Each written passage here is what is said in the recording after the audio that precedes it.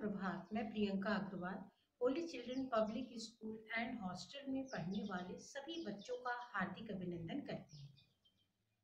कक्षा दो, विषय हिंदी, जिसका पहला पाठ है, फूल हमेशा मुस्काता। ये कविता सोहन लाल द्विवेदी जी द्वारा लिखी गई है। आइए बच्चों, हम देखते हैं कि इस कविता में सोहन लाल द्विवेदी जी ने हमें फूल हमेशा मुस्काता कविता के द्वारा क्या संदेश दिया चाहे बहे हवा मत वाली फूल हमेशा मुस्काता। चाहे बहे हवा लू वाली, फूल हमेशा मुस्काता। पत्तों की गोदी में रहकर फूल हमेशा मुस्काता। कांटों की नोकों को सहकर फूल हमेशा मुस्काता। ऊपर रह डाली पर खिलकर फूल हमेशा मुस्काता। नीचे टपक धूल में मिलकर फूल हमेशा मुस्काता। रोना नहीं फूल को आता, फूल हमेशा मुस्काता।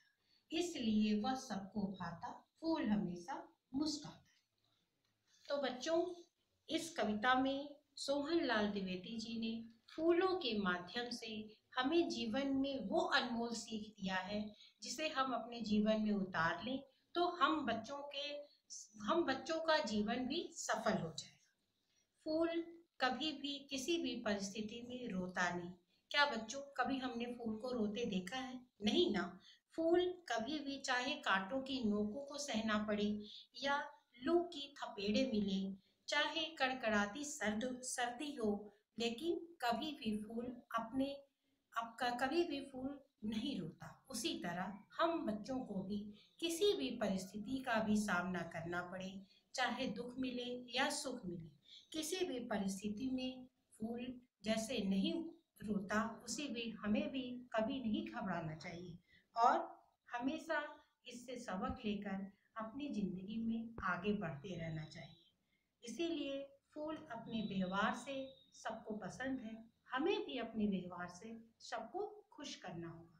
तो आइए बच्चों, आज के लिए इतना ही।